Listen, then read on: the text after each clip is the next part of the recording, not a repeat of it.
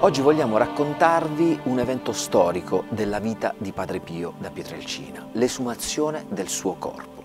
Era la notte del 2 marzo del 2008, eh, un evento che venne annunciato a pochi per eh, dar vita ad un corretto svolgimento di questa breve cerimonia che si tenne nella cripta di Santa Maria delle Grazie. Fu una notte densa di emozioni.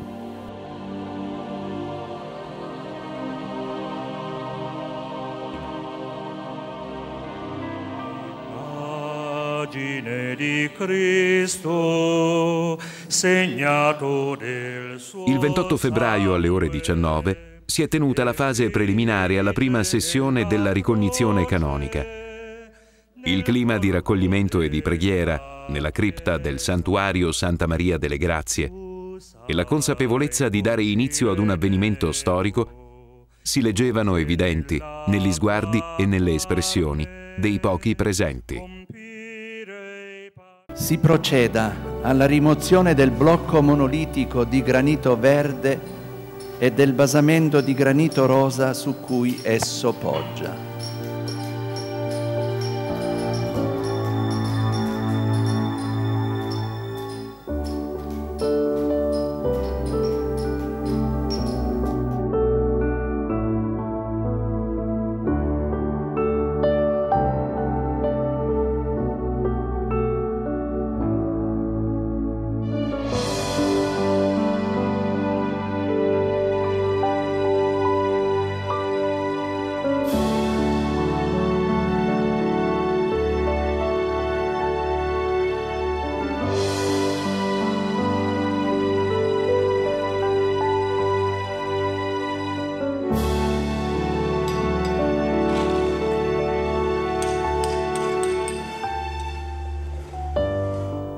Dichiaro chiusa questa fase preliminare.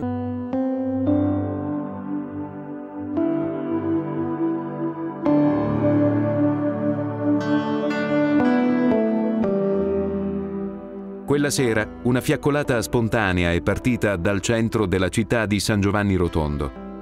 Uno sfavillio di fiamme che hanno riportato la mente dei meno giovani alla sera del 22 settembre del 1968, quando una folla di fedeli, convenuti per il secondo convegno internazionale dei gruppi di preghiera, si recarono sotto la finestra della cella del padre. Sembrava una notte come tante altre, invece era l'ultima notte di un santo. L'ultimo saluto ai suoi figli. La sera del 2 marzo regnava come 40 anni prima una religiosa compostezza di fedeli che pregavano e cantavano.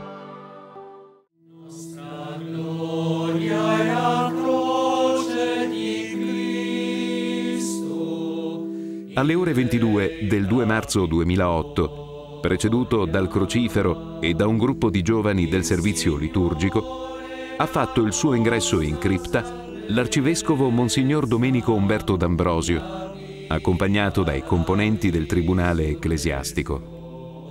Quattro lastre di cemento indicavano il luogo della sepoltura.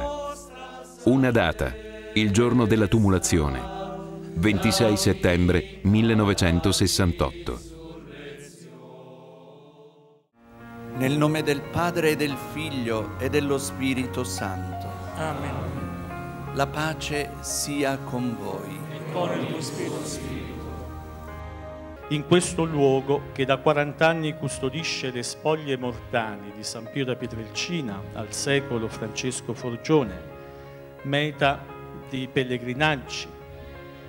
Vogliamo esumare questa notte le sue spoglie mortali per una ricognizione canonica del suo corpo, per dare loro un accurato trattamento e assicurarne quanto più possibile una conservazione degna e decorosa da consegnare alle generazioni future, perché altri possano ancora sentire vicino, attraverso i resti mortali del suo corpo, una presenza paterna, spirituale, taumaturgica. Bonum est confidere in Domino,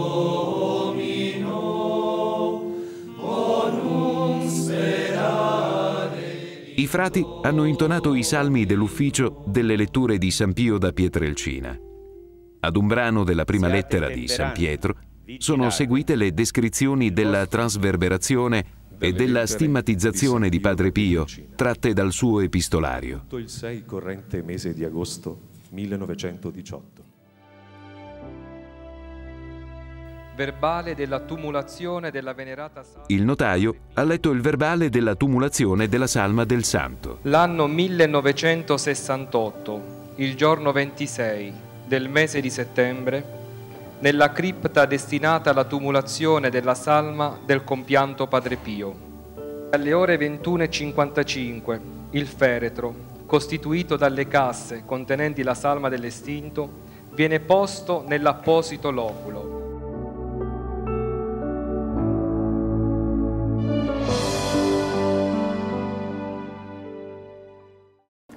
L'atmosfera era densa di sacralità nella cripta di Santa Maria delle Grazie regnava un sovrano silenzio. Tutti i confratelli di Padre Pio avevano poggiato lo sguardo su quelle traverse bianche che una dopo l'altra venivano sollevate con martello e scalpello dagli addetti ai lavori. E poi fisicamente Padre Pio tornava tra i suoi confratelli, tra i suoi figli spirituali, tra i suoi devoti.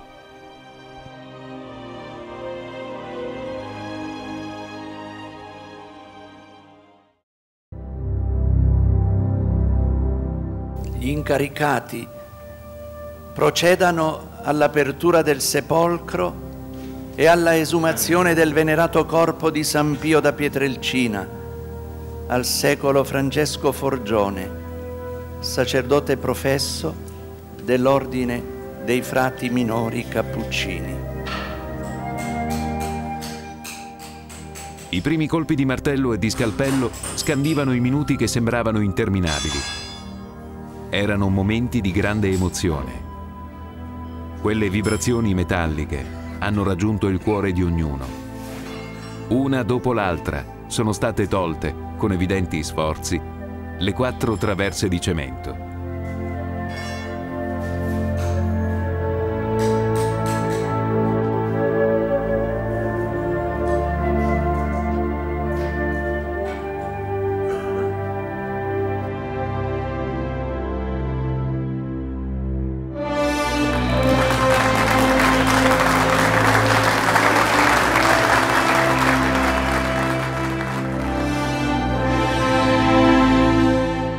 Protese, lacrime di commozione, mute richieste di grazie.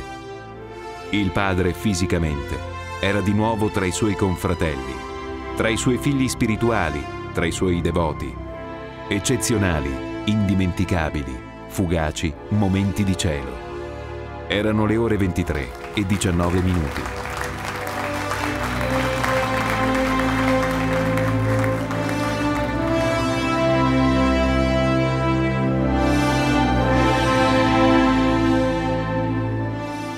La cassa, adagiata su un carrello ricoperto di velluto beige e posizionata nell'area est della cripta, è stata portata davanti all'arcivescovo, il quale, coadiuvato dal promotore di giustizia e dal notaio attuario, ha infranto i sigilli apposti la sera del 26 settembre 1968, dopo averne controllata l'integrità. I periti, invece, verificavano lo stato della cassa.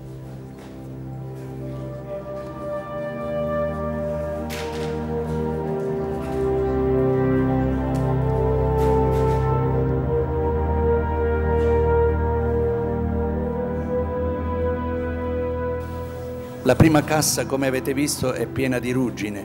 La seconda cassa è in ottime condizioni. Lo zingo è perfetto, non ci sono segni di ruggine. L'ansia, acuita dall'attesa, diventava insostenibile, mentre gli addetti ai lavori, con appositi arnesi, tagliavano in fretta i bordi perimetrali della lamina superiore di zinco. Alle ore 23.30 Monsignor D'Ambrosio, il ministro generale e il ministro provinciale sollevavano lo strato di copertura.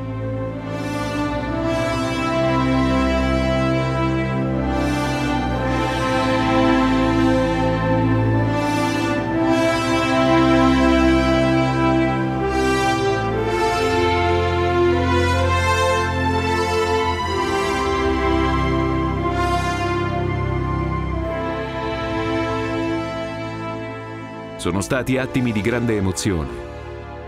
Tutti speravano di rivedere le amate sembianze del padre, ma il cristallo che le proteggeva era offuscato dalla condensa di vapore. Sembravano le lacrime di coloro che si sono fermati in preghiera su quella tomba per sfogare le loro pene e chiedere l'aiuto del padre. Invece era umidità, conseguenza dell'intonaco fresco al momento della sepoltura.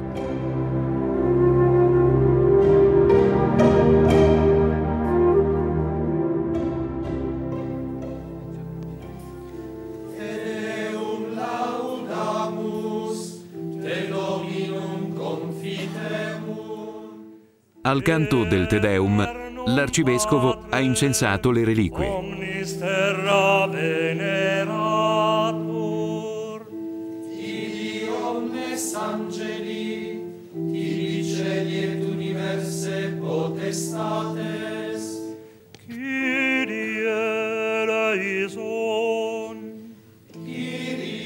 Subito dopo, mentre venivano intonate le litanie dei santi, i componenti del tribunale, accompagnati dai periti, hanno portato la bara in un luogo attiguo, predisposto per la ricognizione e il trattamento conservativo delle spoglie mortali di Padre Pio. Pater de celis Deus, miserere Le 200 persone presenti in cripta sono rimaste in attesa di conoscere lo stato in cui sono state trovate le reliquie del santo. I periti, in separata sede, rimossa la lastra di cristallo, hanno proceduto ad una prima sommaria ispezione del corpo.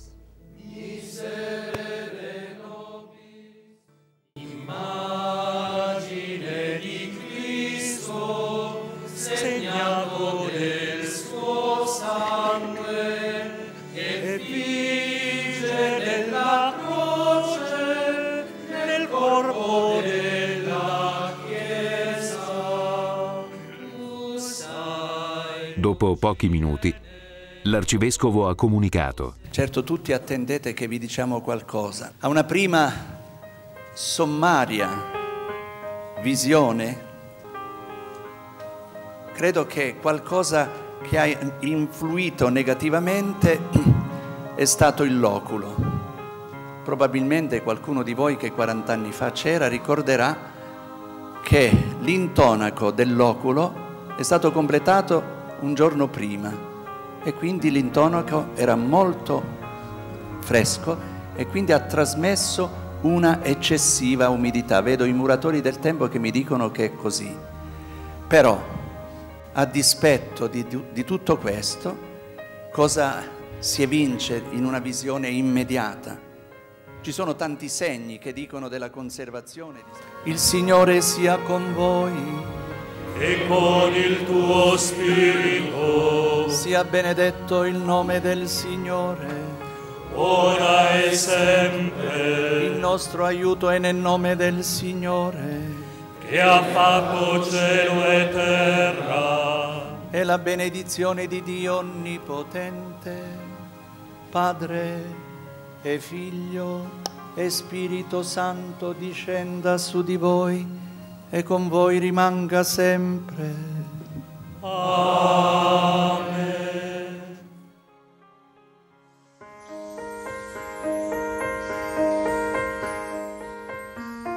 Subito la notizia dell'esumazione del corpo di San Pio, nella stessa notte, ha fatto il giro del mondo. Mancavano quattro minuti all'una del mattino, quando il pastore dell'arcidiocesi ha annunciato. Abbiamo aperto il sepolcro di San Pio. Adesso si tratta, attraverso vari processi, vi, il Signore ci aiuterà e Padre Pio sarà restituito a noi nella bellezza serena che Lui ha sempre offerto a tutti quanti noi che qui siamo venuti.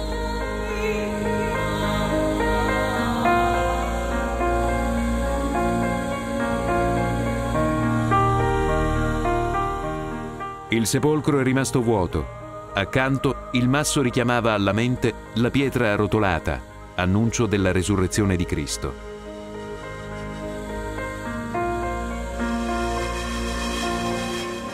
Dopo le opportune procedure dedicate alla conservazione del corpo di padre Pio da Pietrelcina, il 24 aprile del 2008 finalmente tutti i fedeli, tutti i figli spirituali, tutti i suoi confratelli hanno potuto riabbracciare Padre Pio da Pietrelcina. Infatti le reliquie del suo corpo sono state ricollocate nello stesso luogo dove eh, era per circa 40 anni nella stessa cripta di Santa Maria delle Grazie. L'ostensione è durata per circa un anno e mezzo e tutti i fedeli hanno avuto modo di incrociare il suo sguardo, il suo volto. Poi, dopo qualche anno, Padre Pio è stato traslato nella chiesa che porta il suo nome.